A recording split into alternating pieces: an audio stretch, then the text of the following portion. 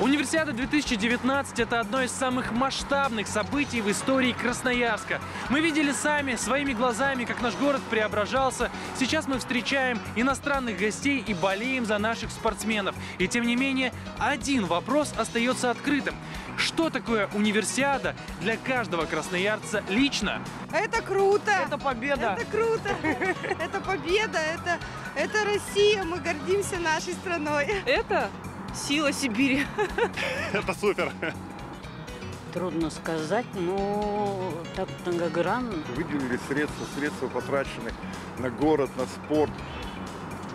Город стал лучше, красивее. Все уже здесь останется. Все останется в городе. Универсиада пройдет, а город останется такой же красивый, прекрасный. Надежда нашей молодежи. Не знаю, мероприятие. Круто! Супер! Это очень хорошо для Красноярска, престижно.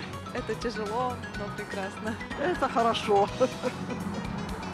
Это шанс для людей показать себя миру, показать Красноярск миру, чтобы Сибирь наконец перестали бояться и думать э, стереотипами.